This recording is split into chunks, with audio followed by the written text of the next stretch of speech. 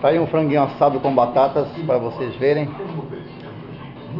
Verem como está, bem assadinho, gostoso.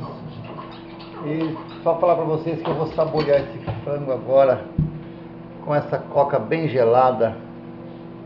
Esse frango com batatas. Hum. Sinceramente, vou pôr esse vídeo no YouTube só para dar água na boca de vocês. Ok? Até mais. Tchau, tchau. Até a próxima.